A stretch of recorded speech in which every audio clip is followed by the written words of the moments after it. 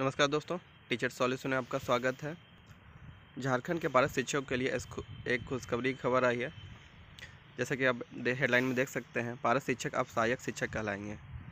कल बुधवार शाम की बैठक, कैबिनेट बैठक के बाद यह निर्णय लिया गया है कि पारस शिक्षक अब सहायक शिक्षक कहलाएँगे। इसके साथ साथ उन्हें कई सुविधाओं का लाभ भी मिलेगा। उनका रिटायरमेंट का उम्र अब साठ साल हो गया है। इसके साथ ही उन्हें अनुकंपा का भी लाभ मिलेगा। उनके लिए नियमित अंतराल पर एक आकलन परीक्षा आयोजित की जाएगी। आकलन परीक्षा पास करने के बाद उनका वेतन 50 परसेंट तक बढ़ा दिया जाएगा। दूसरी खबर है, झारखंड के कल्याणकारी आवासीय विद्यालय में रहने वाले छात्रों के लिए उन्हें अब सरकार मोबाइल और लैपटॉप देगी ताकि उनका कोरोना में उनका पढ़ाई लिखाई डिस्टर्ब ना हो। मोबाइल, लैपटॉप सरकार तो दे रही है उसके साथ उन्हें उनका इंटरनेट के बारे में सोचना चाहिए। चलिए, तीसरी खबर है, जैसे सरकार ने पहले घोषणा की थी कि पेट्रोल पर प्रति लीटर पच्चीस रुपये का उन्हें सरकार कम करेगी बीपीएल धारियों के लिए।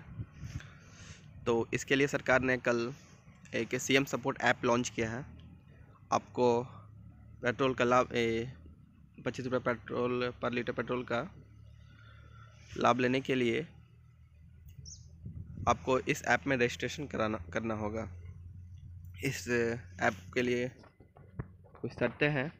जैसे कि आवेदकों को झारखंड का राशन कार्ड का धारी होना चाहिए। राशन कार्ड में परिवार के सभी सदस्यों का